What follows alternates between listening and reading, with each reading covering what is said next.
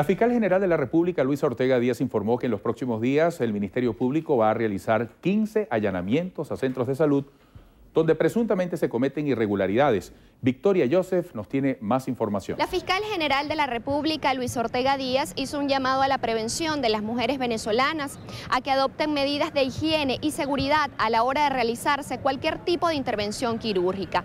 Se han practicado un conjunto de allanamientos. Dentro de los hallazgos está eh, que reutilizaban los, los implantes mamarios. Encontramos en en algunos de, las, eh, de, de estos espacios acondicionados o improvisados para hacer clínicas, encontramos un, bolsas de eh, prótesis mamarias para ser reutilizadas.